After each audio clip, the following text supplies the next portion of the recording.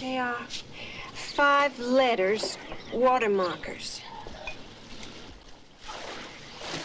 Buoys. What'd you say, JR? B-U-O-Y-S, buoys.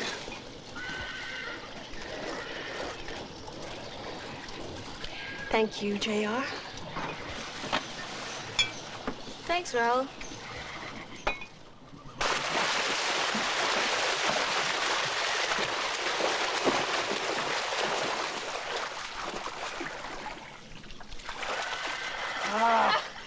A sore loser. Oh. Not too much now, Pam. She's okay, Jock. Well, the doctor said she shouldn't exert herself. The exercise is good for her. Oh, no, Jock, not again. You haven't won a game since February. March. Oh,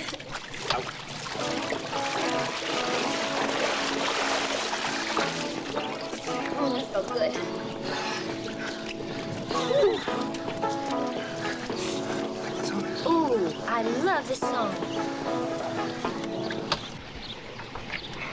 Don't overdo it now, Pam. I'm fine. Come on, Pam. My daddy hasn't talked to me in weeks because of what he did. That's not the whole story, and you know it. No, it doesn't change the way I feel. Lucy, I bet you're real excited about that cattle auction tomorrow, aren't you? I used to love the cattle auctions. My daddy used to take me. You're kidding. Grandpa Southworth? Hmm? He must have felt about you the way Grandpa feels about Bobby. When I was four or five and found out what the auctions were, I made a terrible fuss. I didn't want them to sell any of the livestock. Well, why'd he take you?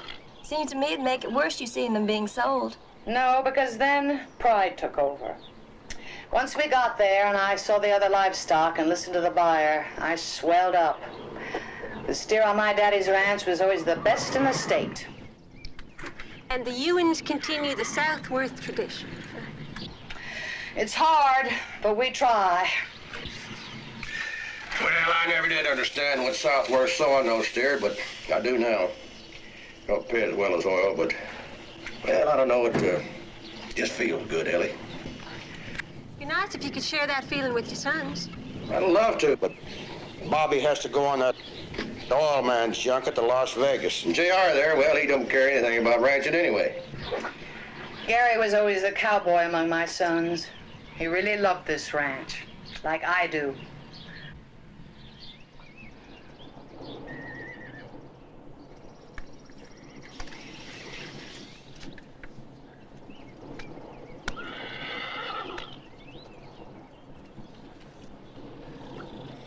Ever notice how quiet it gets when my daddy's name is mentioned? I wonder why that is.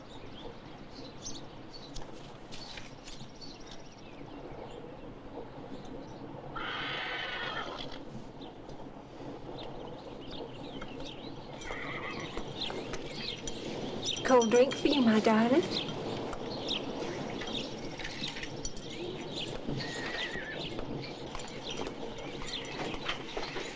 Bet JR just loved to go to that cattle auction with you. Well, I've asked him before, but he's always turned me down. Well, that's because you and oil takes up all of his time. I think he'd really be interested. I never knew that. But hell yes, I'd be glad to have him go. Thank you, Jock.